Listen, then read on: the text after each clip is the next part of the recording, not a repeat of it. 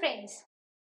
In this video, we will study the command instruction format of the 8251 Programmable Communication Interface, which is sometimes also known as the Universal Synchronous Asynchronous Receiver Transmitter or USART.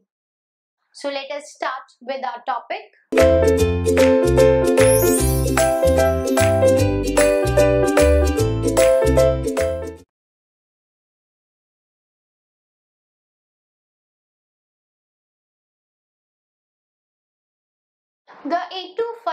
8251 which is the programmable communication interface it is used as an interface or we can say as a mediator between the peripheral devices and the microprocessors. When the microprocessors they are communicating with the peripheral devices they have to convert the parallel data into the serial data and also they have to convert the serial data into parallel data. So instead of the microprocessor doing these operations, they used an interface that is 8251 which performs these functions for the microprocessor.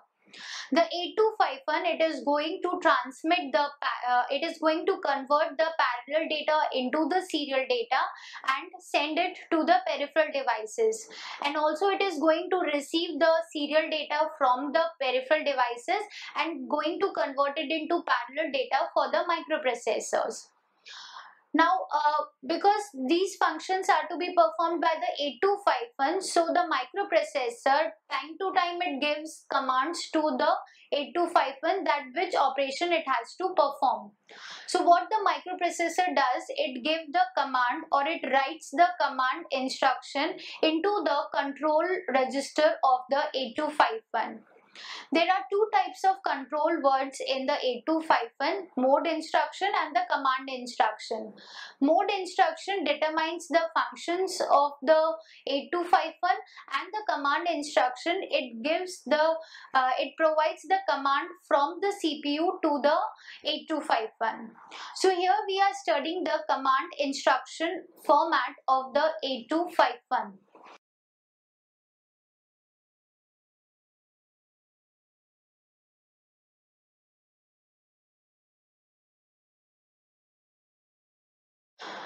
Now command instruction, this uh, control word is used for setting the operation of the 8251 that in which uh, what are the operations the 8251 it is going to perform and this is provided by the CPU and this is written by the CPU into the control registers. So let us see that what are the items which are set by this command instruction.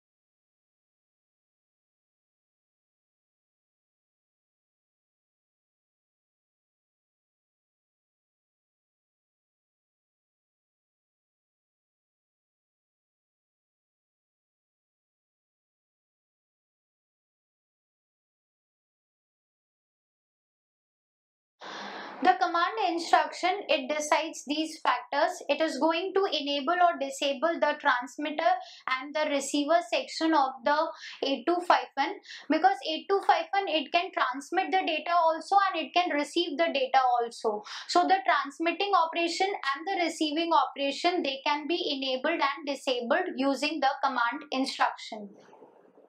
Next we are having data terminal ready and request to send. These are the output signals from the 8251 which are sent to the peripheral devices. So these signals are also uh, decided by the command instruction format. Then resetting of the error flag can also be done. Sending the break characters that is also decided by the command instruction. Internal resetting of the 8251 can also be done through it and uh, whether the 8251 it is working in the hunt mode or not means the enabling and disabling of the hunt mode can be done through the command instruction. So let us see the format of this command instruction because it is a control word so it will be written in the control register which is an 8 bit register. So there will be 8 bits of this command instruction. So let us see that how the 8 bits are defined in this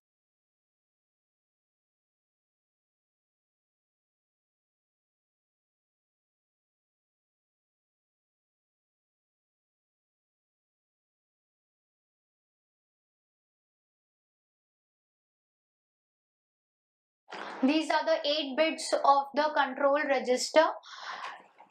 The D7 bit is the EH, D6 is IR, D5 is RTS, D4 is ER, D3 is SBRK, D2 is RXE, D1 is DTR and TXEN. So as I have said that uh, this uh, command instruction it is used for setting the various items. So you will see that in these 8 bits all the items are specified here. The not bit it is for enabling the transmitting operation so when this bit is 1, then transmit is enabled. And when this bit is 0, then transmit is disabled. So through this D naught bit, the transmitter uh, transmitting operation of the 8251, it can be enabled or disabled. Then we are having DTR, which is the data terminal ready. This DTR is also a pin available on the 8251 IC. So through this command instruction, we can set this DTR pin high or low. So when this is 1, because DTR pin it is an active low signal. So when this bit is 1 then the DTR pin will be reset or 0 will be available there and we, we can say it will be low signal will be available at that and DTR signal will be activated. Okay? And when it is 0 then DTR signal will not be available it will be deactivated. Next we are having RXE which is the receiver enable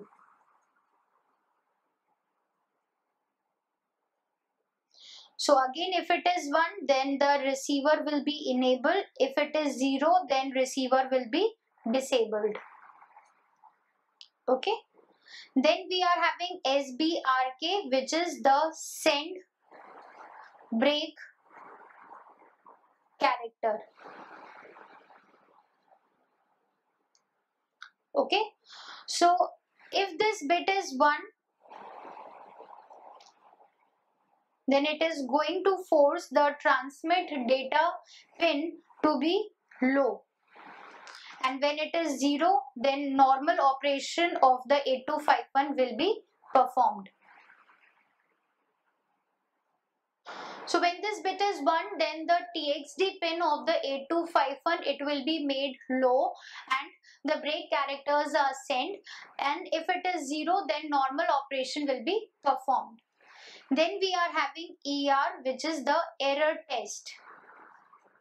As I have said that the command instruction is also used for setting the error flag. So this bit D4 bit is used for that purpose. If this bit is 1 then it is going to reset the error flags.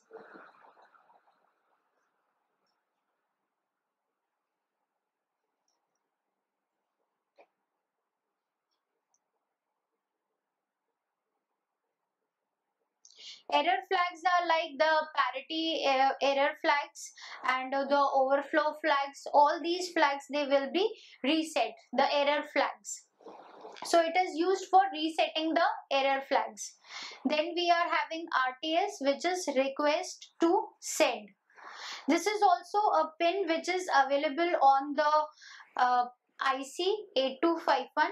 So when this signal is 1 then RTS which is also an active low signal. It will be activated. It will be made low. And when it is 0 then RTS will be high. It will be deactivated. So these two bits d5 bit and d1 bit these are used for making the RTS and the DTR pins of the 8251 activated. Then we are having IR which is for the internal reset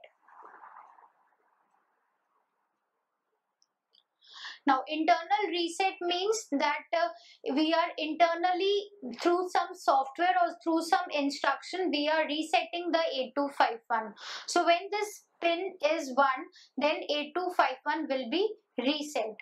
And whenever the 8251 is reset after resetting whatever instruction or whatever control word is written in the control register that will be treated as the mode instruction.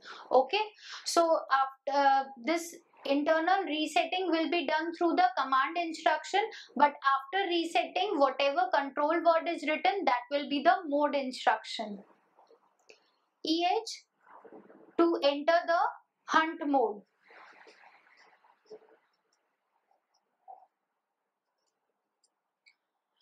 When this pin is 1 then the 8251 it enters into the hunt mode or we can say that it enables the search operation searching of the sync characters